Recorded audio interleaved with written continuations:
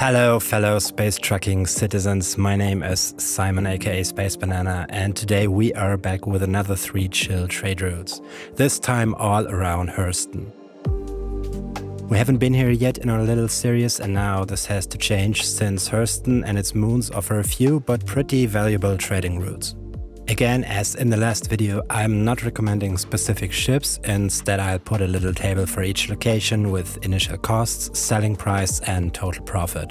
However, the available supply may vary and chances are you're not able to fill your ship up entirely, even though I've looked for possibly the best spots. So consider the charts as best case scenarios. We start off by running Laranite from Arial to Lorville, we have two locations, HDMS Bezdek and HDMS Lathan. Choose any one you prefer, but before exiting your ship, make sure you're properly equipped. The surface on this moon can reach extreme temperatures. A quick trip between your ship and the terminal will be fine with just a basic undersuit and helmet, but if you plan to stay a little longer and explore, bring something heat resistant. Now we head inside the storage facility and buy as much Laranite as possible. Depending on your ship or the available stock, you may want to visit both places on this moon before taking off to Lorville, just like in our case, where the actual supply was pretty low, so I approached the other location as well. And even here I wasn't able to fill up the C2 entirely. However, if the odds are really not in our favor, we could consider filling up the empty space with titanium, which isn't exactly the best resource to trade, but with a profit of around 150 AUEC per SCU, it is still better than leaving with a half-empty cargo grid. Now we are heading towards the Teasa spaceport at Lorville.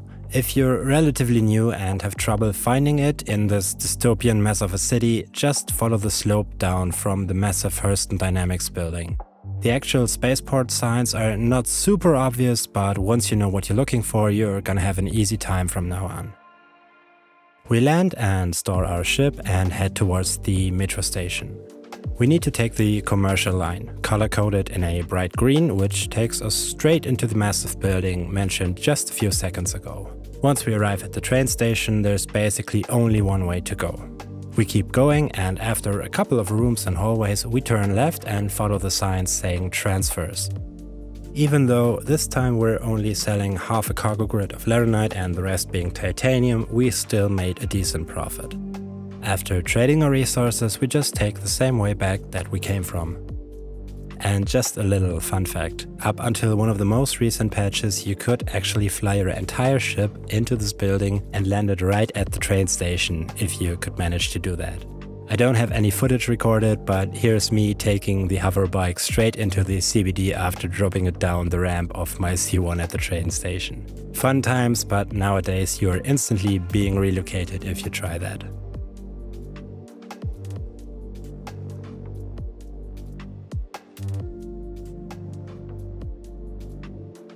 Anyway, trade route number two, diamonds from Magda to Lorville. Again, there are two locations, HDMS Hahn and HDMS Perlman. However, both sell at a different price with HDMS Perlman being significantly cheaper. Both locations come with a max stock of 1000 SCU and filling your ship up will cost you quite a fortune. But out of all three trade routes, this is the one with actually the biggest profit. We got lucky and could fill our entire ship up the very first try.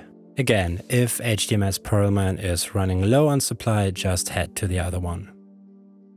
Now let's fly towards Lorville again, this time being extra careful as blowing up our ship right now would hurt a little above average. Then again, something with trains, something with trading, and then something with profit. Absolutely wonderful.